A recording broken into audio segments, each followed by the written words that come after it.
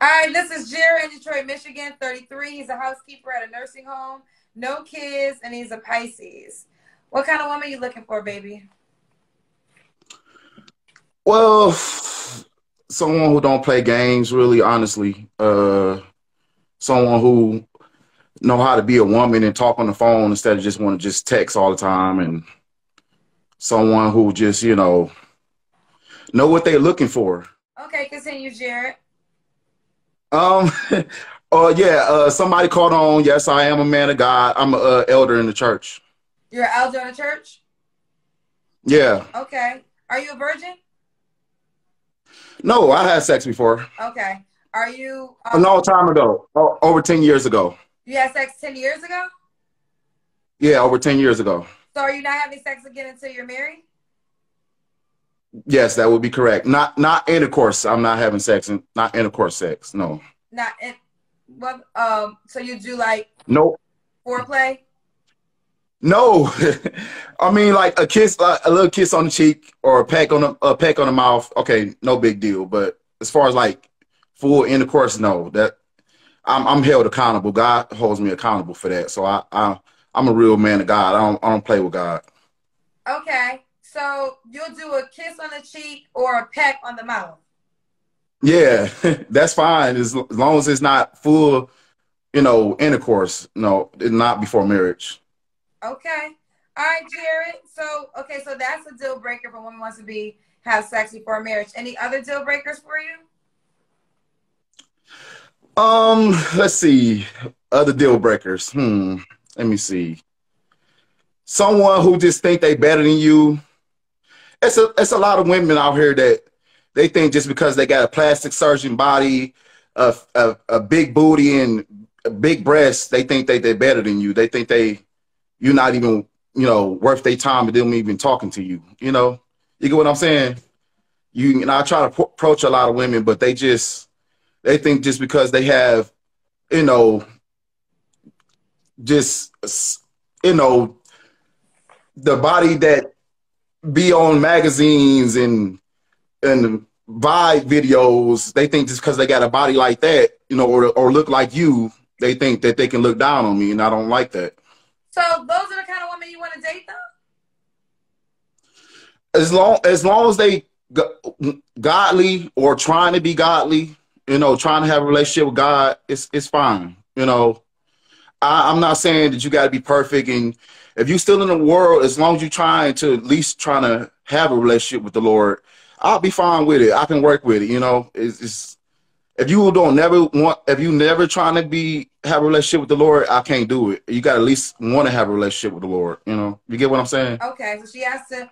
Well, yeah, I mean, I, I got that when you first came on, but then when you described the kind of woman, because you said that you approach the girl with the plastic surgery body, so I wasn't um, sure that I, I wouldn't think that you would approach her. I would. I mean, they, I mean, they just they just think they better than you. Like like literally, if you if you go to the bathroom and take a shit, you you gotta spray the bathroom just like me. What makes you think you better than me?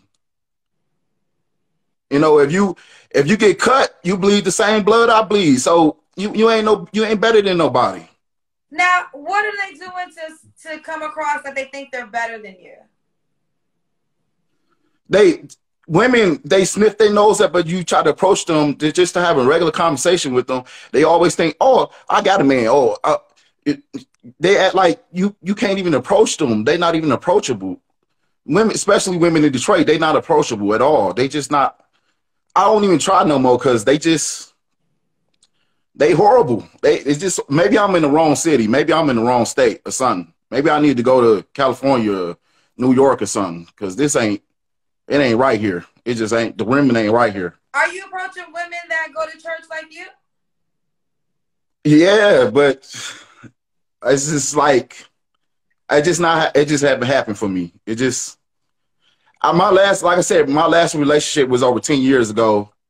Uh, my ex girlfriend Yurima, you know, I'm I'm over It's it's been over ten years. You know, this has been since 2008, 2009. You know, I've been over her, but you know, I occasionally run into her sometimes. I say hi to her, you know, she she all right, you know. Um I have no preferences, no preference when it comes to like um weight, you can be uh, BBW or skinny as a toothpick. It really doesn't matter to me. As long as you genuine, as long as you have a good heart, you're a good person. That's that's what truly matters to me. Okay. You know, as long as you're willing to want to have a relationship with the Lord, it, I, I, can it can work. It can make it can happen. You know, we can. You know, I if you don't have a relationship, Lord, I can pray for you, and maybe you know you might be open to it. Um, having a relationship with the Lord. You know. A lot, you know, going so on, a lot going on, Jared. Yes. one thing I'm, yeah, so. I'm trying to listen to you. So the one thing I hear is that you feel like when you approach women, they look down upon you or they're rude. Yeah. Okay. So. Yeah, they. Okay. They just they just think they better than you. Like the women here, they just. I, I think they'll pop a baby for you in a minute, but they they wouldn't take you seriously as a relationship. You get what I'm saying? Mm. So, and you said that you're considering going to a different city. Well, act right now you're Right now, you're talking to women in all different cities. One thing I will say is you you sound a little bitter. I, I, guess I guess so. I, you know, well, not really. Frustration of not having sex in ten years. No, I know, no, it's it's not. It's not. I I, I promise you, it's not. First of all, it's, I, not. Listen, I, I I commend you on that journey. Um, I think that that's awesome if you're able to do that. But I would just say that the woman that you were describing that you say looks down upon you, the woman that might be getting her bodies done. Not saying that women in church don't get their bodies done, but when I think of the women that are getting their bodies done, I'm thinking of the IG girls or the girls who live a certain lifestyle. And to me, it's like opposite than the type of girl I think you say you want. If you want a woman to be with you without having sex until you get married, I I would think you would you would only want to approach women that have your same belief system, right?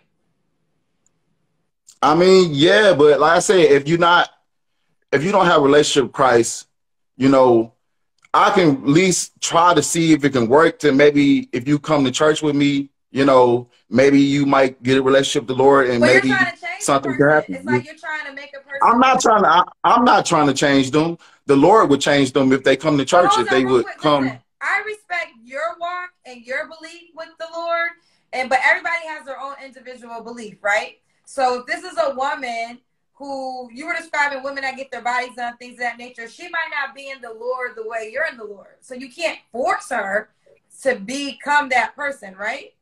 I'm not. I'm not. I'm saying if she comes to church with me, but it's her choice though. It's her choice. It, it's I guess not. I'm asking you, why are you focusing on the women that currently already go to church? Because most of them are already married, and you know, and not the women in my, my church is older. They they elders. They you know, we it's not a lot of young women in our church, and they if they we do have young women, but they don't come often. They just come like make like special time, special events, you know, special times. They don't come often. You get what I'm saying? So maybe you should go to a different church with younger people. There's like, where do you live again? You live in Detroit, Michigan. I'm not sure how. I know yeah. like Chicago has. There's like several popular churches that millennial churches uh, people go to. I think because you are adamant you're not having sex till marriage, right? Yes, that that's that's that's correct. You know, sex is important to some women. And there's some women who, yeah, I know, I, I, know you say you're a godly man, and I know that's what you believe you should be, and there's no pushback from me on your beliefs, right? I'm not trying to deter you from that. But I think if you are sold on you're not having sex until you're married, you got to date women in your world. It seems like you're trying to get women that's not in your world to come to your world. I get what you're saying, but that could possibly happen if you pray for that woman. If she's not a godly woman, she Baby, God can listen, change her. That can me tell you something. We again, I respect all that you believe, but you also have to go by what you're seeing too, right? Um, and I'm not trying to deter you. Keep praying for women, keep having those beliefs, but at some point in time, you got to see is this working? Like, is this woman who's not going to church? You know, you said all these bitter things about this woman. She looking down upon you she she not respecting you. She thinks she better than you because she got her body done. Like leave that woman alone. Just mess with the women that feel the way you feel. No, it, it's not one specific woman. It's like the women in general in Detroit. That's that's their mindset. They, they ghetto, wretched. I want to th- see a lot of women. That's what I realize. Women, most women, they say they want a good man, but really they don't. They just like the makes- idea what of a good you, man. Okay.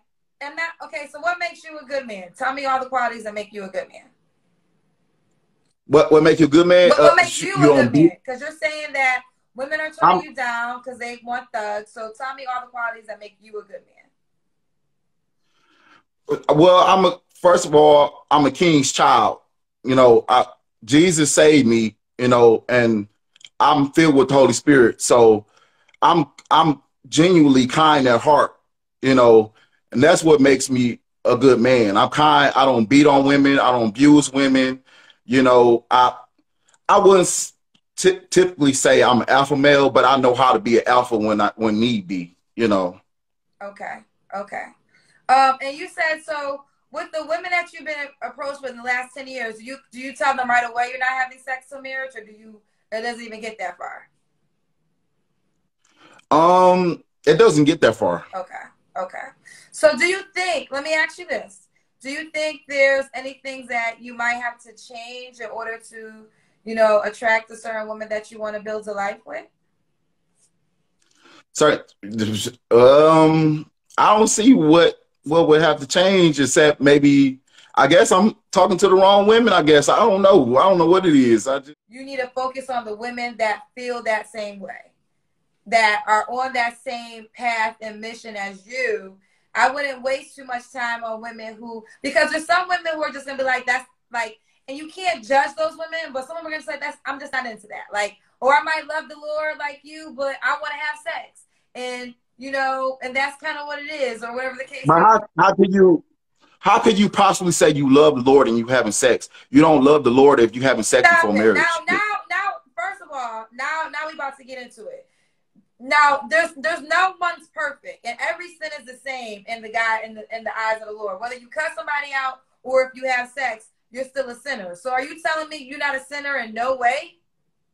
I'm of course I've Okay, seen. I just seen. like- I, so, so whatever. So just because you were able to lock down celibacy and not have sex doesn't mean if a person who hasn't been able to lock that down doesn't also love the Lord. So there's things that that's something that that's something that you've been able to control. But I'm quite sure you are a sinner in some other way. So don't judge that person because they're not doing what you're doing. You're probably sinning in a different way. uh, I haven't. I don't. I don't sin often. You know, if I'm Well, if I do sin, I always. weren't given. You're judgmental because what you perceive to be opposite of what you accept, you are judging it. Now, I'm not saying it's right or wrong. It's just the opposite of you. And you, like you said, whether you know it or not, you look down upon the women because you were saying that these women get their bodies done or all the other things. I can't remember what you said exactly, but you are judging them. Now, that's a sin. I mean, if I sin though, I always ask God forgive me. I some people say, you know, they Let me tell you what the They- problem is. You think you're perfect. You think you perfect. no, no, do. that's that's not no, that's not true. that's not. That's true. not true. That's not true. Well, that's how you're. I don't think I'm perfect. Right now, you're trying to, and every rebuttal, every time I shine a light on something that you could work on, you come back with, "Well, I pray and I ask God for forgiveness." How do you know that person is not also praying and asking God for forgiveness? I mean, they, I mean, they could be. What I'm saying is, you can't. How can you? How can you seriously call yourself a Christian if you're having sex? That's all I'm saying. But what I'm, I'm not saying that person. Don't, listen, I'm not saying. but I'm not saying that person don't love. God. That's not what I'm saying. I'm just saying, how can you? You can't play with God and say, "Oh, I'm a Christian, but I'm having sex sex before marriage." That don't even add up. Can I, can I say this to you? Do you agree that? Do you agree that every sin is the same in God's eyes? A sin is a sin. That's correct. Okay, so if- right- whether, right whether you murder somebody or stole a Hold bag on, of chips, Hold on. It's it's the same. Oh, say it again, baby. I said whether you murdered somebody or stole a bag of chips, sin is sin is God in God's eye. You're right about that. Okay, so why are you spending so much time saying how can you say you love the Lord but you're having sex before marriage? If a sin is a sin in God's eyes, why are you weighing that one more than any other sin? because that's fornication. That's but, that, but, I mean, but, but, you're not you're, you're you're contradicting yourself. You just said a sin is a sin in God's eyes. So every sin weighs the same. So you're trying to say right. you can't love God if you have sex. What I'm trying to say, to me, what I've been taught, a sin is a sin. You can always ask for forgiveness, whatever the case may be. Yes. But hold on. So just like if you cut somebody out or if you judge somebody, having sex is all the same in God's eyes. So what I'm saying is you've been able to control, you've been able to control the ability to not have sex. Well, I, I, I'll say this. I don't know if you've been able to control it or if you just ain't got the options. Because who's really trying to have sex with you? It's easy not to have sex when anybody trying to have sex with you.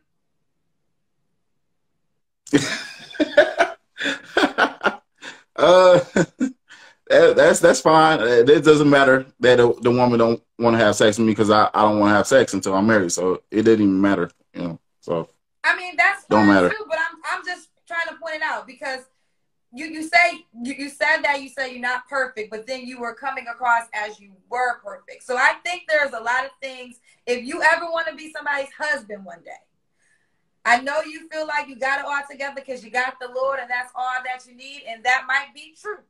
But the Lord gonna have to give you some more things too if you want a wife. Okay, I, I get what you're saying. You you saying I'm judging, but all I'm saying is I'm not saying the person.